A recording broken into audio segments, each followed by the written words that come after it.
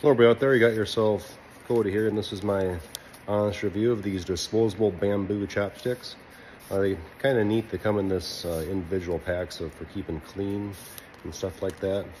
And just to let you know, I'm not a, an expert on uh, chopsticks, I prefer to use a fork, but I guess some people like to use these.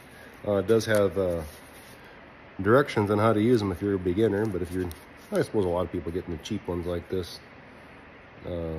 Might need the directions. There's Chinese, Chinese writing on the front.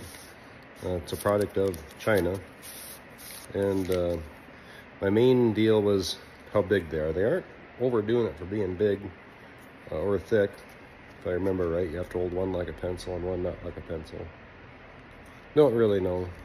But I think they're they're pretty durable. You probably could reuse them. I don't know why you couldn't. You can't really break them the easiest, but um, and they are disposable. And what I like is they're individually packed, which you can just throw in your drawer. And for somebody like us, maybe just use them once in a blue moon, but we do have them on hand. So that's what I think of the disposable bamboo chopsticks.